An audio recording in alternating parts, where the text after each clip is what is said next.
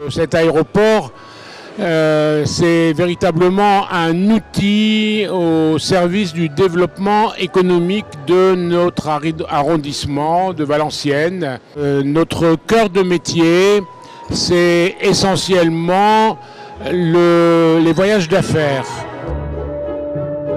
Cirrus est une société euh, américaine que je représente ici en France, euh, qui fabrique des monomoteurs pistons, qui fabrique du monomoteur jet dans lequel nous nous trouvons, le Vision Jet. Euh, la caractéristique principale de nos machines, c'est qu'elles sont toutes équipées d'un parachute balistique. Donc l'avion lui-même est équipé d'un parachute. En cas de pépin, les pilotes tirent le parachute et l'avion flotte doucement jusqu'au sol. Alors, journée porte ouverte co-organisée avec l'association Jamais. Donc, vous avez le président, donc M. Bofi, juste à ma gauche. Voilà, le hasard fait bien les choses. Euh, où euh, nous avons donc organisé donc ces trois jours. Le premier soir, donc ici, euh, Regard 6 qu'on a acheté donc il y a même pas huit mois maintenant, avec nos partenaires pour présenter nos futurs développements avec les douanes, avec Cyrus et avec les différentes écoles présentes ce soir. Et demain et dimanche, nous allons avoir une présentation d'aéronefs d'une centaine de véhicules et des, baptêmes en avion, hélicoptère, ULM et voitures de luxe et de sport au profit donc de l'association Petit Prince.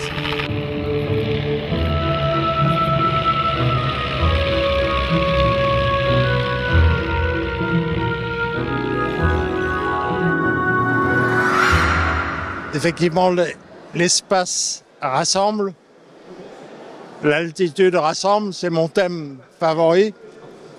Et hum, ce que j'ai vécu, je ne vais pas le citer comme exemple, c'est le hasard qu'il a voulu.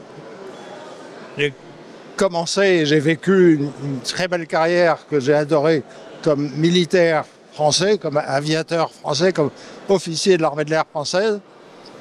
Je suis parti en URSS parce que c'était la, l'époque de la coopération scientifique voulue par le général de Gaulle. Donc c'était un volet non politique, mais qui montrait déjà cette aptitude, cette capacité de certaines personnes à vous envoyer vers le, vers le rassemblement.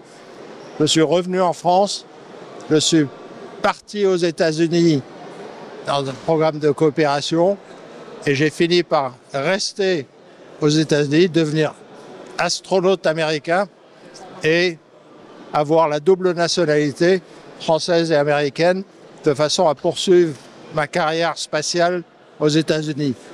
Donc, je ne cite pas ça du tout comme un exemple. L'espace rassemble. L'espace conduit vers euh, une terre sans frontières. Effectivement, quand on regarde la Terre de haut, on a du mal à imaginer ses frontières. Plus, plus on s'en éloigne, et moins moins on imagine ses frontières. Et quand on regarde les photos de la Terre prises depuis Saturne ou Jupiter, où la Terre n'est plus qu'un petit point, il vaut mieux penser que sur ce petit point, les gens s'entendent bien, parce que sinon ce petit point un jour disparaîtra et personne s'en préoccupera.